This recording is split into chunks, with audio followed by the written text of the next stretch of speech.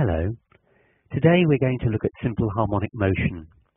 A particle undergoes simple harmonic motion if it oscillates about a midpoint where its acceleration at any point is proportional to the displacement from the midpoint and where that acceleration is directed towards the midpoint.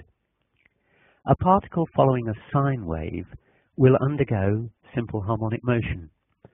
Consider the sine wave y equals sine omega t. Omega is 2 pi f, and f is the frequency, which is the inverse of the period of the wave, that is, the time to complete one cycle. Acceleration is the rate of change of velocity with time, and velocity is the rate of change of distance with time. To find the acceleration of a particle travelling along a sine wave, we need to differentiate twice with respect to time. y equals sine omega t. dy by dt is the velocity, and that equals omega cosine omega t. Differentiating a sine term gives a cosine term, but multiplied by the omega. Differentiating again gives d2y by dt squared, which is acceleration, and which equals minus omega squared sine omega t. Differentiating a cosine term gives us a minus sine term and multiplied by omega again. But sine omega t equals y. So the acceleration is minus omega squared times y.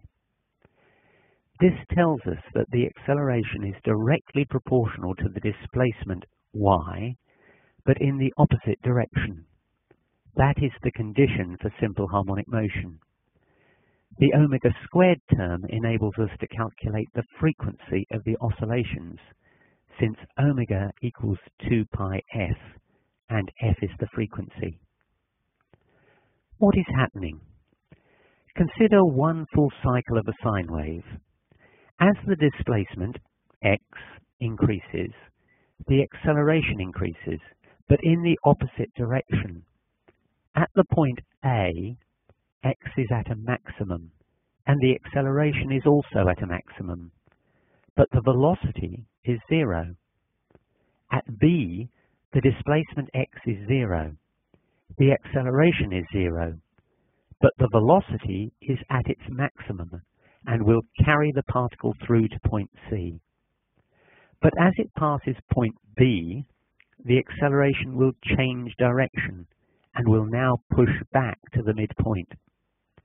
At point A, the particle has its maximum potential energy, but no kinetic energy. At point B, the particle has no potential energy, but maximum kinetic energy because it has maximum velocity. The combined total of potential energy and kinetic energy is a constant. As the particle travels along the sine wave, there is a transfer between kinetic and potential energy. The maximum amplitude for the wave we have considered so far is plus 1 and minus 1.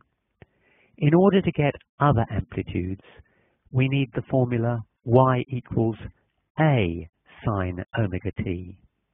a is the amplitude, and the amplitude of the wave will vary between plus a and minus a. We can calculate the velocity of the particle.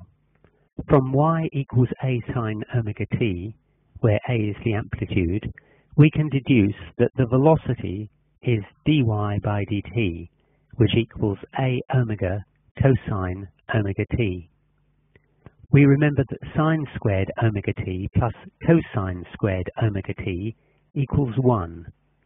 Thus, cosine squared omega t equals 1 minus sine squared omega t.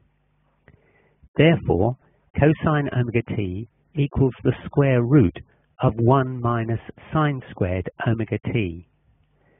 but sine squared omega t equals y squared over a squared, since y is a sine omega t.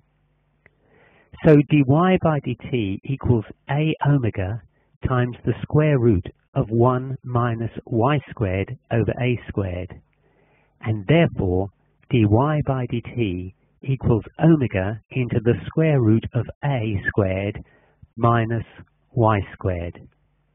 The velocity is at a maximum when y equals 0, that is, when there is no displacement. That is when dy by dt, the velocity, is omega a.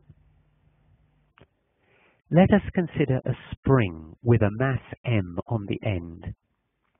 If the spring is initially at rest and we displace the mass by a small amount and then release it, the spring will oscillate.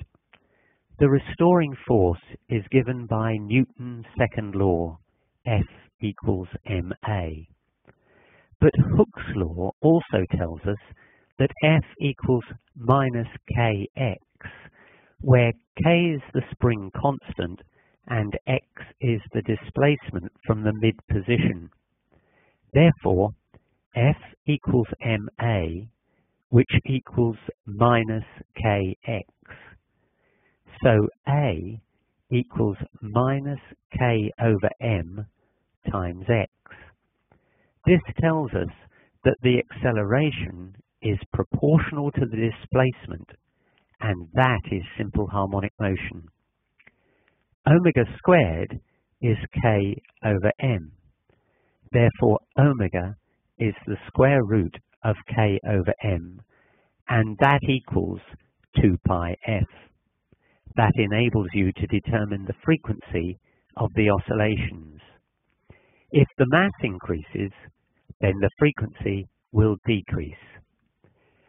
Let us now consider a pendulum of length L with a mass m at the end. It is displaced by an angle theta.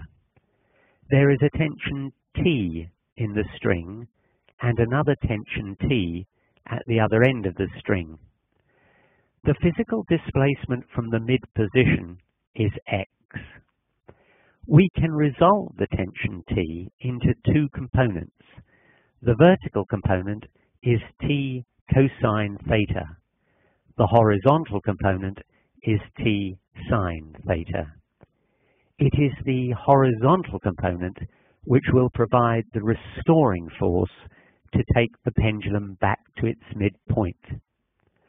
Once again, Newton's second law tells us that F equals ma, which must equal minus t sine theta. mg equals t cosine theta, but for small angles, mg equals t, because for a small angle, of, say, less than 5 degrees, cosine theta is almost 1. Strictly speaking, a pendulum will only oscillate with simple harmonic motion if it swings through only a small angle. Sine theta is x divided by L.